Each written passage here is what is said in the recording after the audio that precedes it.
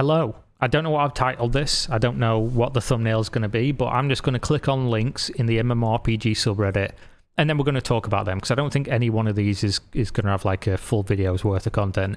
Then again, I can just sit here and talk about nothing and fill a video with 10 minutes to get that ad revenue. It's 8 now, by the way, but I like 10 just so you can fit that extra one ad in there. But I will try to give you actual content. So, Fractured Online Publish and Notice. If you guys don't know, Fractured was a game that I actually was really looking forward to when I spoke to the developers and I promoted their alpha test repeatedly. They gave me codes to give away on my Twitch stream and my uh, and my Discord, and I gave away hundreds and hundreds of codes, and people enjoyed the game in my Discord. And it was one that I'd been following for multiple years and was hoping would come out and do well because I like sandbox indie MMOs. I just do. And this one being isometric and having some good ideas for solving some of the problems, like uh, having full loot PvP players and people who want to play safe in the same game, they had some cool ideas for making that not a, you know, wolf eats all the sheep and then there's nothing to eat and then they eat themselves and then the game dies. But then what happened was I was going through the Gamigo.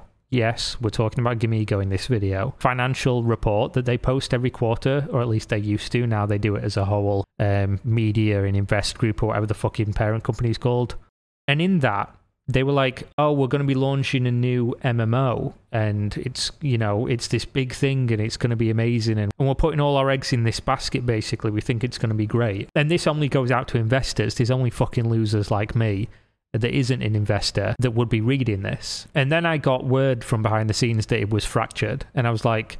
I fucking hope it isn't. I really hope it isn't. But I didn't go and ask the devs or anything, at least not that I can remember. And then there was teasers posted by Gamigo, and people figured it out it definitely was fractured. Now, at the time that this partnership got announced, I obviously, being somebody who has a fractured relationship of my own with Gamigo, given that I promoted a game with them in a partnership of my own. And then they basically said that they only owed me like a, a couple hundred dollars for something that I knew wasn't true. And they actually owed me multiple thousands of dollars and then when I brought it up with the person who was like my handler, basically, he was like, no, you don't know what you're talking about. You're a small YouTube channel and you don't understand. You're entitled to what this says, and that's it. And I was like, no, I'm not going to accept that. I'm not a fucking moron, and you're not going to treat me like a moron.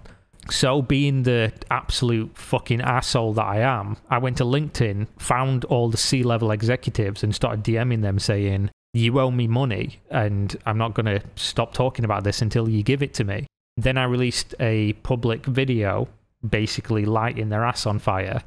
And that's when the C level executives got in touch with me and were like, I wish you didn't do that. I don't want to be fucking dealing with this right now, which is a little bit unprofessional, but there we go. And then it was explained to me that yes, they had in fact made a critical blunder.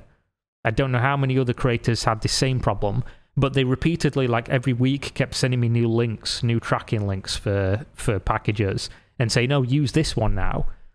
And what they were doing was basically not tracking all the new links. So anyone who was buying things through my link was not contributing any money towards the affiliate deal that we had which to be fair at the time everyone can remember i was really excited for the idea of ArcheAge Unchained because like many people who are watching this video probably ArcheAge was always that mmo that really should have done way better and was a good game fundamentally. And they were making all the right promises, saying all the right things, and I was excited. And so were many other people because thousands of people bought the game through my affiliate link. So obviously, this experience soured not only my excitement for the game, which I literally didn't end up playing, by the way. I was excited to play and then it came out. And the fact that this all happened and I was treated the way that I was made it so I had no interest in playing the game anymore. I just couldn't, in good faith, do it. And then thankfully, it was a complete fucking mess of a launch. So, made a lot of videos talking about that.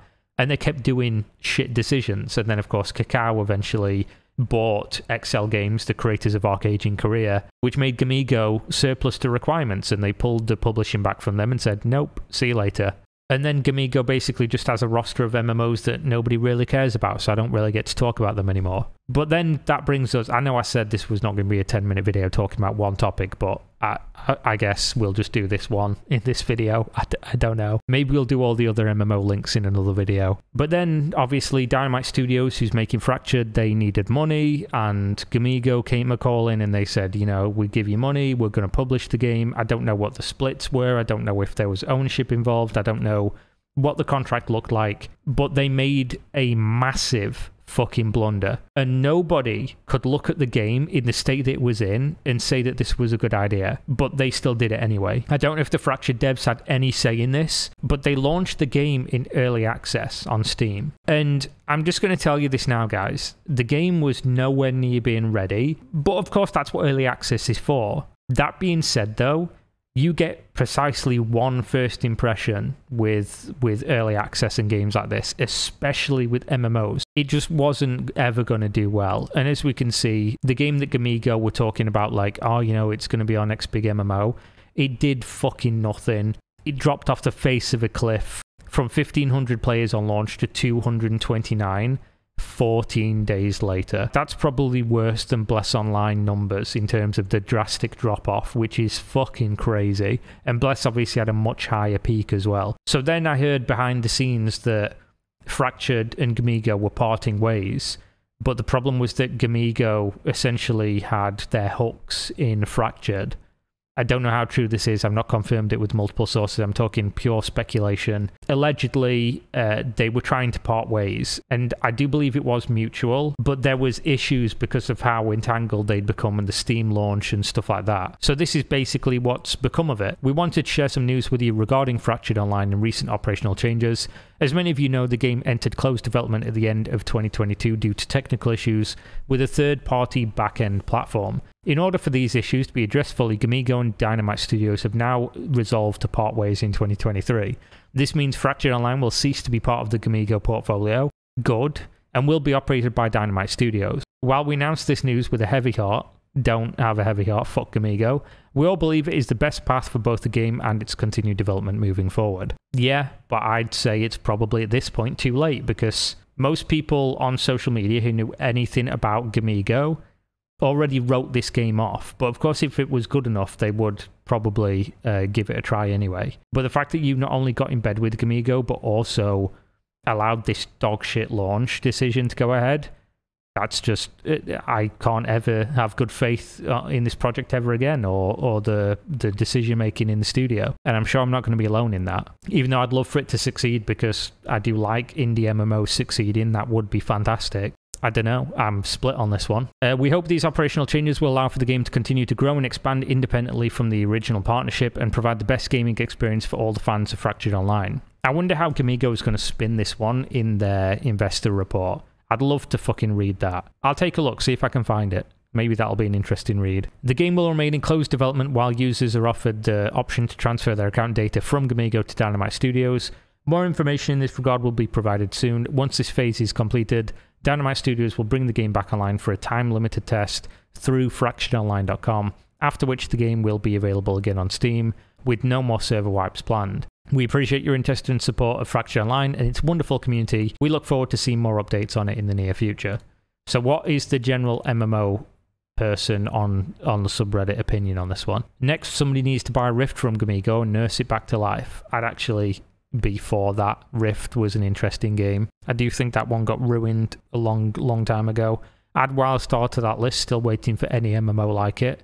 I've given this opinion before, and people always rag on me in the comments and say that I'm completely wrong, and I accept that I probably am, but I'm going to say it anyway. For the amount of people I see on social media that say Wildstar was such a good fucking game, nobody played it, man it wasn't popular when it released. So it just makes me wonder because uh, Wild Wildstar is one of the few MMOs that released, especially of the big ones, that I just didn't play. I just had no interest in it. I can't remember what game I was playing at the time. I was probably heavily into WoW or something like that.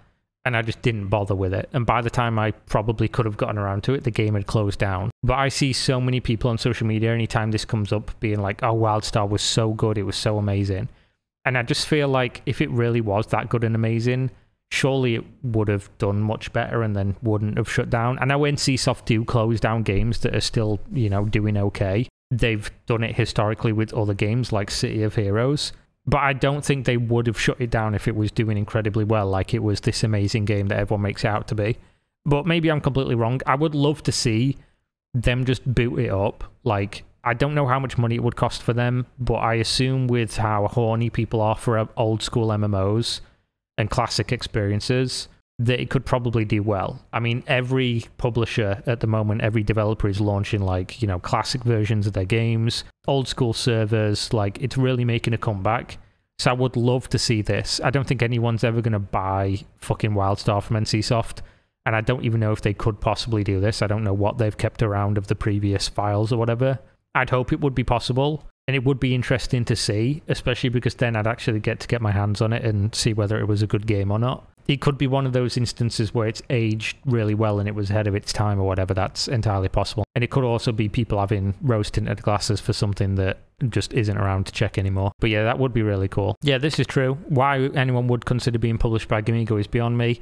Uh, money, there aren't exactly many publishers willing to fund in the indie MMO. They'd been self funding um, with grants and also crowdfunding for so long to get the game to this stage. If it was the case that they couldn't continue anymore, and it was either Gamigo. I think I said this at the time. If it was a case of shut down and disappoint all the backers and waste all their money getting to this point, or Gamigo, I would always choose Gamigo as somebody who operates a business like that. Just it makes complete sense to me. I don't hold that against them. But at the same time, I have such a personal issue. It's the only company I have any personal bias against at all, and I will be fully willing to admit that as soon as they got in bed with Gamigo, I could just never promote this game again. I wanted nothing to do with it. But I do understand why they as a business would do it. I just, again, have no interest in having anything to do with it beyond that point. Because usually, obviously, when I have like an interaction with the community, it's with like a random rep or a third party completely. And I understand business does business things and it's all very impersonal. But this was personal for me because they made it personal when they were like, you don't know what you're talking about it was basically my first, you know, big contract where I was like, this is amazing. They've offered me something that's cool and I like this game and